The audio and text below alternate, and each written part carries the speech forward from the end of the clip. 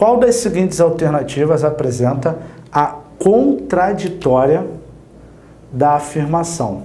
Todo condenado é culpado. Galera, quando ele pede a contraditória, na real, ele está sendo maldoso e está pedindo a negação.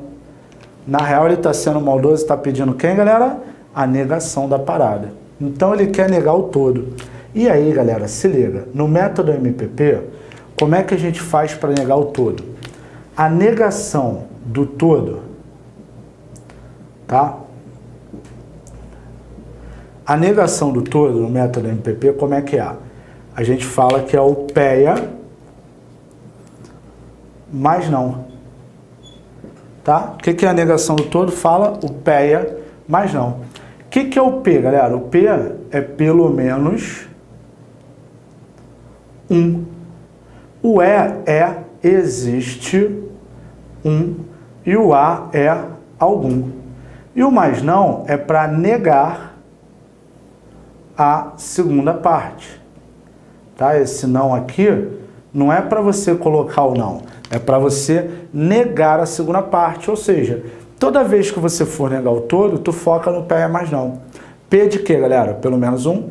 É de que? Existe e há de algum. Pode ser qualquer um deles, tá? Então, quando você for para as opções, como é que é a parada aqui, ó? Todo condenado é culpado. Você vai esquecer o todo e vai procurar alguém do PEA. E o tu vai botar não é. Então, como é que vai ficar? Pode ficar, pelo menos um condenado não é culpado. Existe um condenado que não é culpado. Ou algum condenado não é culpado. Isso que vai ficar. Tudo bem? É assim que vai ficar. Show de bola? Então vamos lá, vem comigo. Letra A, todo condenado é culpado. Está errado porque negação do todo não é todo. Tudo bem?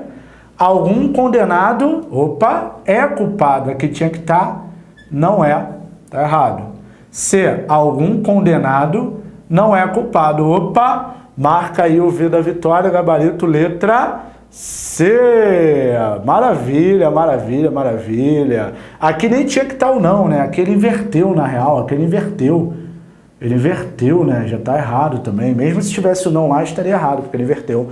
Algum condenado não é culpado. Marco V da vitória na letra C de concurso da PM Ceará, que eu vou passar.